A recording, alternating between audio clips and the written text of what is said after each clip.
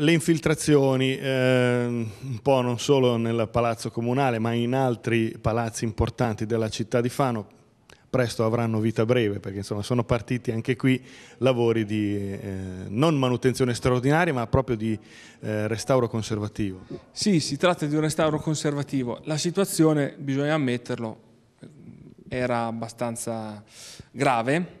eh, in tutto l'edificio comunale ci sono i segni di infiltrazione evidenti, anche la gente che viene, la sala della Concordia, l'ufficio del sindaco, gli uffici della gente che lavora. E la situazione era molto molto grave sia nell'ufficio comunale sia nella sala dei Globi, che è la sala più importante, se volete, della biblioteca federiciana, ma anche nella pinacoteca comunale, quindi la corte malatestiana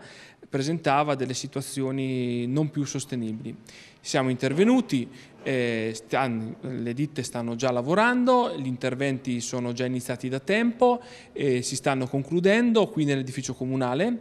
per una prima tranche dell'intervento perché ne seguiranno altre e riusciremo a bonificare tra virgolette quasi tutte le situazioni più gravi eh, andando ad impermeabilizzare i tetti, sistemarli e poi come prevede la norma metteremo una lifeline cioè una, un cavo tra virgolette d'acciaio che serve appunto per successive eh, manutenzioni